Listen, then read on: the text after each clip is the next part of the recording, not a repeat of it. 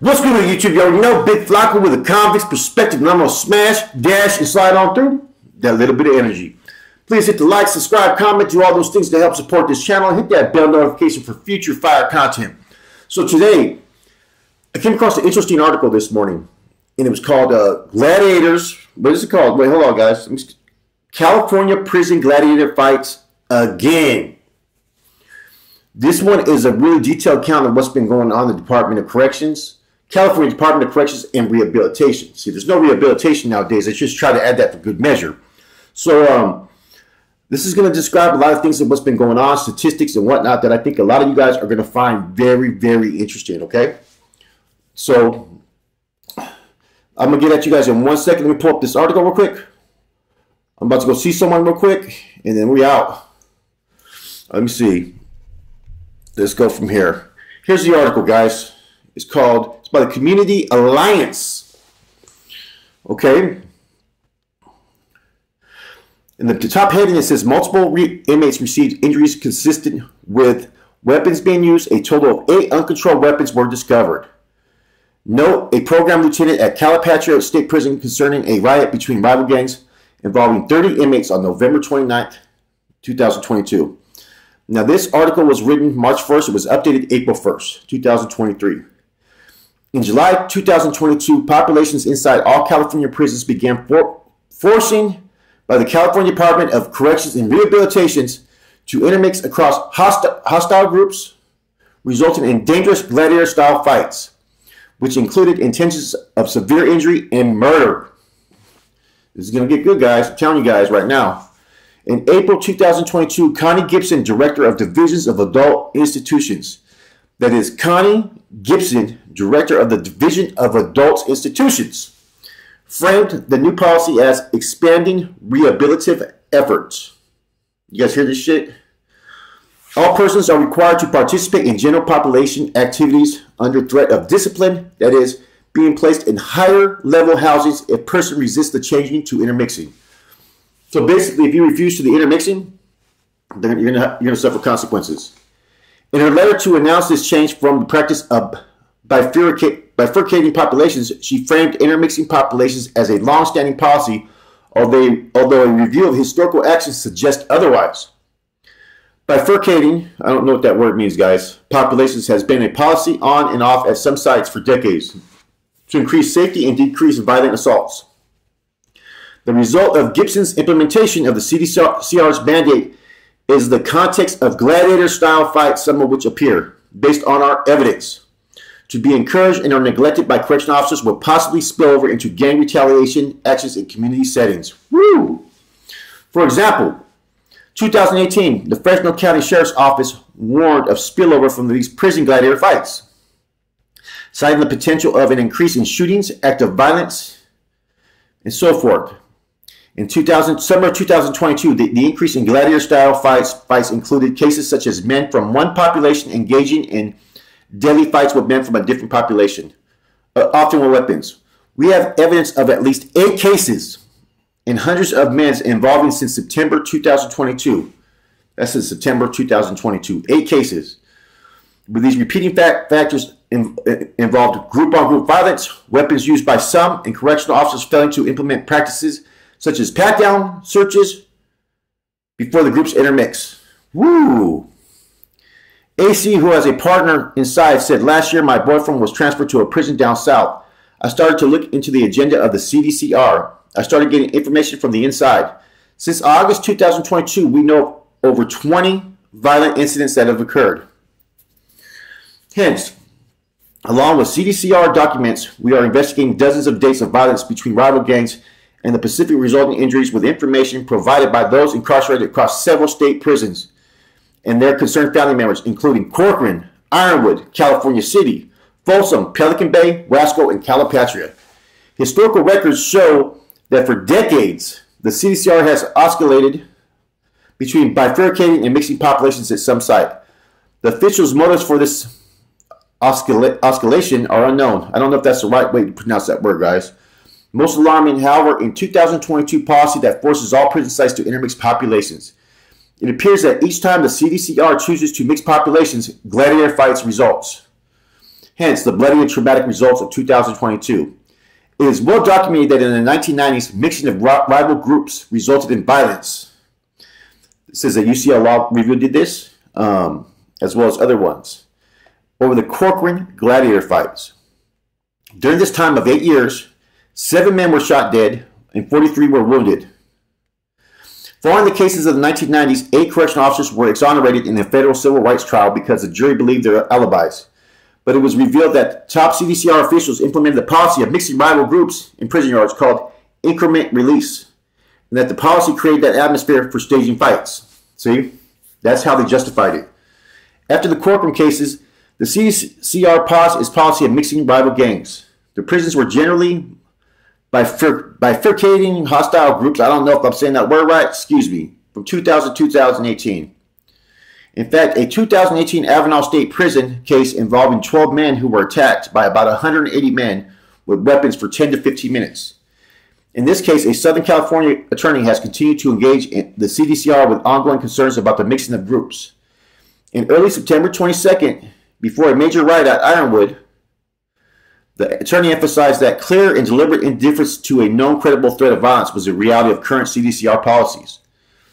In 2020, CDCR again paused its policy because of the issues that happened in Avenal, because they had several large riots beyond Avenal that happened at other locations, intermixing hostile groups under the guise of accessible rehabilitative program and incremental release on the September 27, 2022, right? This is about the, the Ironwood incident with the Bulldogs.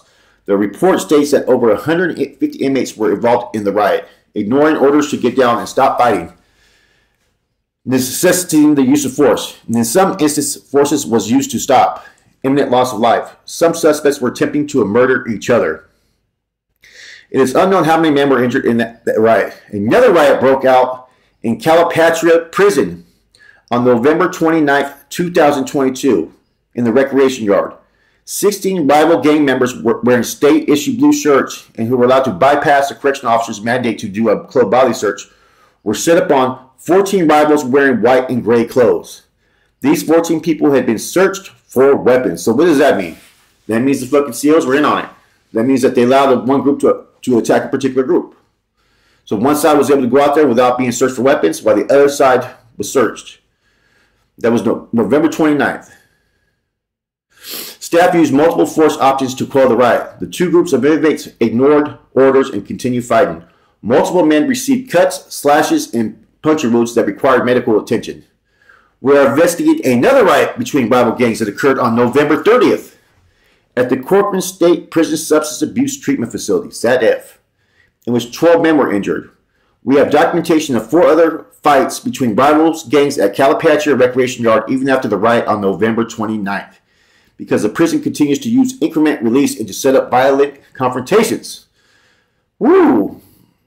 The latest incident that we have documented related program occurred on February 1st when a handcuffed known gang member was attacked by a rival gang member with a weapon while being escorted by guards. Now that's a cowardice act, man. You're not supposed to do that. So a rival gang member attacked one with handcuffs. Then again, though, this is probably what could be occurring on that is that this group may be the one that's being set up all the time, and they finally got access to get someone get backs. They may say, "Fuck it." I mean, I'm not, I don't, I don't support it, but shit happens, right? Speaking to the issues of programming and incremental release, to my knowledge, the correctional officers are setting up gladiator fights because you have all of this unfolding. It's happening again and again. There is no logical explanation besides the staging of gladiator fights.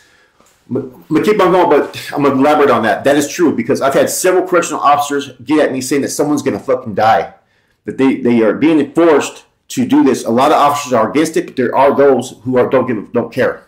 They look at the inmates as just another convict, just another prisoner, and those are the ones you got to worry about. But there's been several, several officers who have reached out to me from different prisons, man, who told me this is how we feel about this, man. I'm here just to do my nine to five job. I'm not here to get anybody killed. He says, but the policy that Sacramento is pushing on us, someone is going to get killed. I repeat this to Sacramento, all those fucking bureaucrat crack bullshit motherfuckers. Your policies are going to kill somebody. And you guys know it. You guys are going to have blood on your hands. You guys have more blood on your hands for doing things that everybody knows is going to be wrong than any other of these groups. Remember that. Okay. AC and a friend who has a brother inside said they have reached out to prison officials, elected leaders, and the governor about the issue to no avail. So once again, the governors, congressmen, all these people, they're not being held accountable for what they're doing. They're putting people's lives and family members at risk. Okay. They say the Fresno Bulldogs classified as a security threat group once to program into general population. Prison officials seem to be making that impossible. Say they, they didn't know that these gang, rival gang confrontations were going to happen. They say they have never been warned. Man, they know. This is what they knew what was going to happen. See, that's what I said. They should have had these guys in different locations. Maybe you can find those that maybe have a little bit of, uh, of say in these groups to be able to conversate before they even did this, man. She shared a TikTok post from a correction officer with us. We are trying to confirm the audio, which appears to suggest that from one of these gladiator fights, six innocent people were stabbed because of prison staff's actions. It was as if they came to watch the event and laughed about it. Yeah, I believe it. Over the next few months, we will continue to press, process the evidence that was provided to us. Further investigated the details surrounding the CDCR knowingly placing population at risk and danger. They have reached out to leadership and associations to acquire both the permissibility of gladiator fights and the spill out to, to the California communities.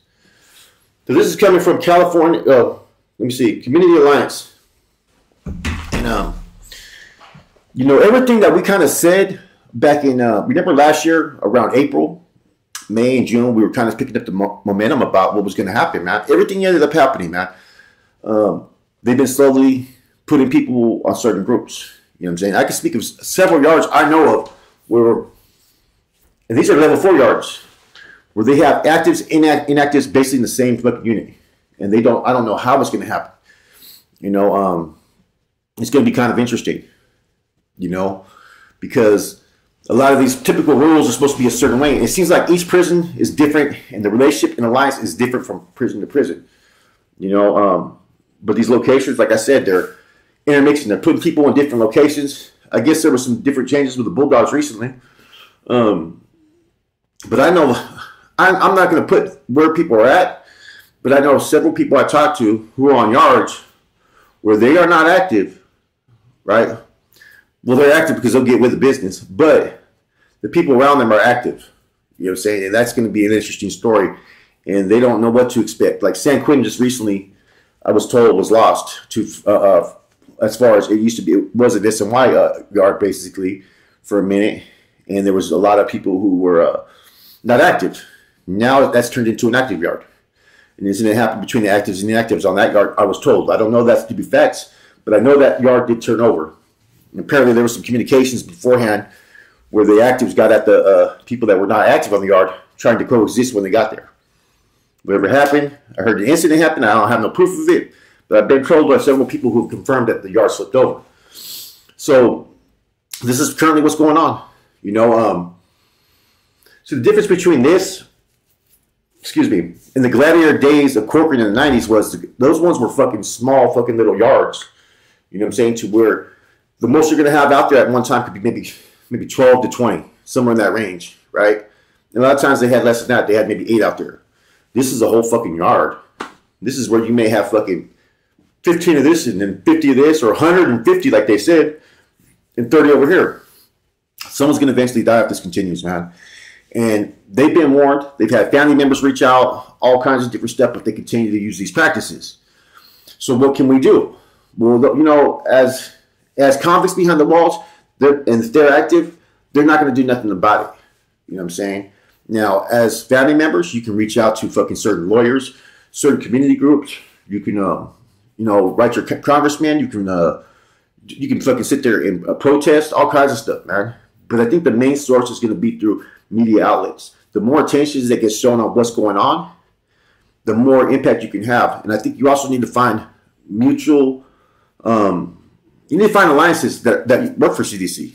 You got to find people who also are not afraid to fucking sit there and expose what's going on because it's going to be more credible when it comes from someone that used to work there than it is from someone whose family members up in there, you know.